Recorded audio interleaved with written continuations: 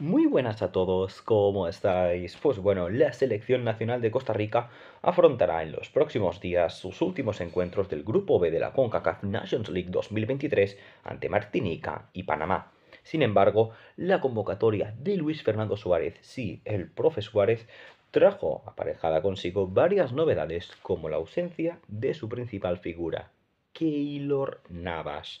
Esta decisión produjo controversia y hasta reclamos al portero del Nottingham Forest, quien se está jugando la permanencia en la Premier League. Pero al cruce salió Ronald González, un viejo conocido de Navas, tras sus diferentes etapas al frente del combinado patrio y explicó el trasfondo de la cuestión. Ojo, abro comillas. Keylor es el portero de la selección que aparece en los buenos momentos. Las situaciones deportivas que siempre ha manejado deben de ser entendidas, comprendidas y también conversadas con él. No dudo que, eso ya lo digo yo, que el profesor Suárez ha hablado con el portero Keylor Navas. No tengo pruebas, pero tampoco dudas. Más, todo tiene que ver mucho con la mentalidad y modelo del entrenador y qué es lo que quiera hacer. Eso fue lo que externó en diálogo contigo Sports. Ojo porque hay más. A Keylor se le llama para momentos importantes, pero porque él está en un nivel muy superior al de todos nosotros. Cuando le ha tocado jugar con la selección, siempre lo ha hecho muy profesionalmente, especialmente en los grandes eventos, que es donde más cuenta, afirmó González, respaldando, así pues, al halcón.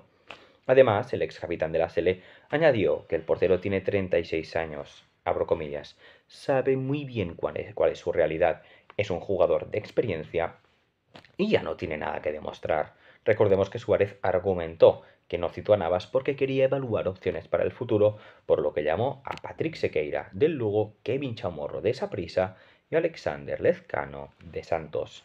¿Y tú cómo valoras esta no convocatoria de Keylor Navas? Te leo, evidentemente, en los comentarios, sí, tu opinión es muy importante para nosotros. Si te ha gustado el vídeo, deja un buen like, suscríbete. Si no lo has hecho aún, a Balón de Oro tu canal de fútbol, porque aquí hay vídeos de fútbol diarios para ti. Suscribirte no te cuesta nada y haciéndolo a mí me ayudas un montón. Así que muchísimas gracias de antemano. Puedes hacerte miembro del canal, aquí abajo tienes el botón unirme, cuesta solo 9 tejas al mes y es con diferencia la mejor forma que tienes para apoyarnos. Gracias de corazón si terminas tomando esta decisión y en la descripción tienes un enlace hacia nuestro canal secundario llamado El Poder del Dinero. Échale un vistazo, no te vas a arrepentir, sé que te va a encantar. Y si es así, suscríbete que es completamente gratis. Como siempre, de todo corazón, muchísimas gracias por seguirnos.